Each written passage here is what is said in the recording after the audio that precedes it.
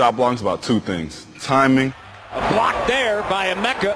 and body control. And the denial by Okafor. Number one, your time has to be just right. You want to time it so that you're blocking the ball as soon as the ball is leaving the guy's hand. Number one, you don't have to jump as high. And number two, you avoid that goaltending call. And the second point is you also want to have great body control. You don't want to block the shot and run into him, give him a foul or a chance for uh, and one opportunity. You just want to be light on your feet. You know, you don't want to you want to stay on your toes, stay bouncy. Uh, you want to just make sure you're, you're ready to, to go get the ball once the ball is released. You got you to watch out for the head fake. You know, when, when, you, when you're sitting there cold and, and they give you that pump fake, sometimes you want to jump, but you just got to resist and, and have patience and, and when it's time, go up and get it.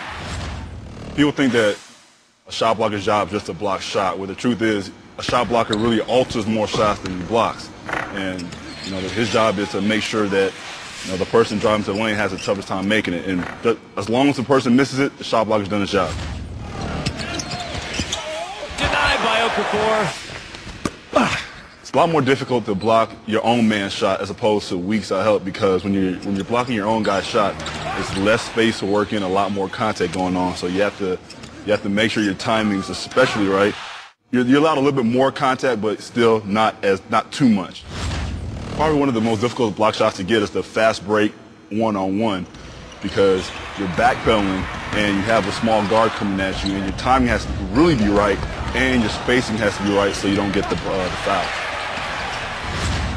Most times you want to try and block a shot inbounds or to one of your teammates, but there are times where you just want to throw it as far as you can because as a shot block you want to intimidate and sometimes a nice, you know, a nice launch gets the message across loud and clear. Thank you.